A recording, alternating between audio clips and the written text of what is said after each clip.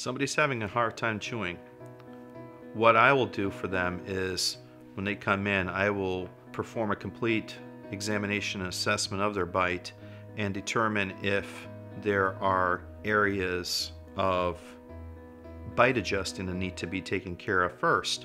Because most of the time, people come in with extreme habits such as grinding or clenching.